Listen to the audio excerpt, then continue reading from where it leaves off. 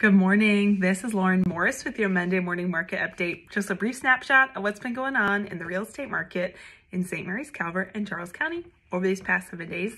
So we have 80 new homes on the market for you this past week. These are homes that you can go to and tour and see if they're a good fit for you. 25 homes are back to active. So that trend is just continuing where buyers go under contract for a home, then that contract is falling through for whatever reason. 70 homes had price decreases. Again, we're just seeing a lot of homes adjust their prices as the market is normalizing and sellers are trying to attract a buyer to make an offer in their house. 57 homes are under contract, which is very exciting. Of these 57 homes, 16 went under contract in seven days or less. So that's about 30% of the homes on the market are going under contract within a week. So if you are a buyer, this is good news because you have some time to look at a home maybe a couple times before making a really fast decision. And sellers, if this is you, hang tight.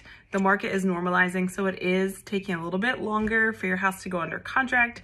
And finally, we have 66 homes closed this week. So congratulations, buyers and sellers.